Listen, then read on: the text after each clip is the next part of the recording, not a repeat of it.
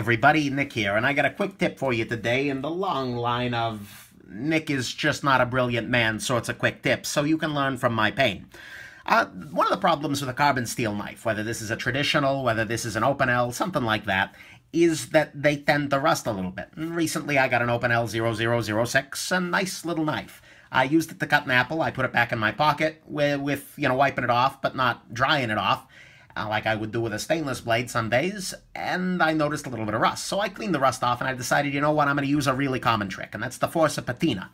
And that's where you basically expose the blade to a little bit of acid, so it will oxidize a little bit on its own, and it'll make it harder for it to oxidize like crazy later on down the line. And it's interesting, and it looks cool, I want to give it a shot.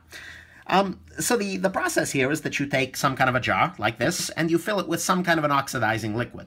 Um, and some people will, you know, wrap a, you can use, you know, anything. Uh, I use vinegar, but you can use mustard apparently because that's got a lot of vinegar in there, orange, lemon juice. I mean, you can patina with damn near anything. Um, it's just a question of how aggressive it's going to be.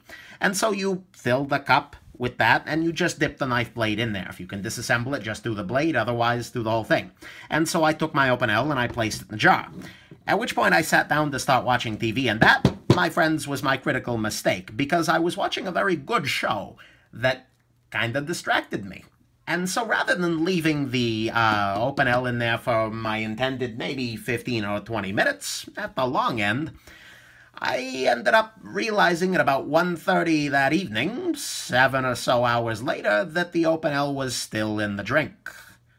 And, you know, got the heck out of bed, ran into the kitchen, poured out the vinegar, and discovered that I, Nick Shabazz, the lover, I'm sorry, the hater of all blades colored black and painted and DLC'd, am now the proud owner of a black-bladed, high-speed, low-drag Opinel which is just kind of, oh man.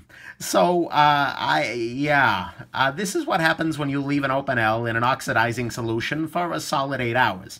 It's fine, and it's probably going to have a hell of a time rusting, and you can see that there's a little bit of wear on the coating from opening it up.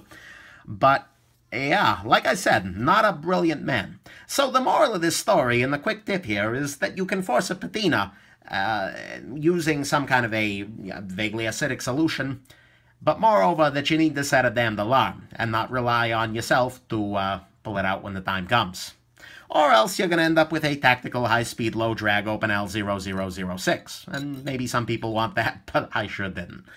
I hope this has been helpful to you. Again, do not be like the Nick, and uh, have yourselves an absolutely wonderful rest of the day, and be careful with your vinegar.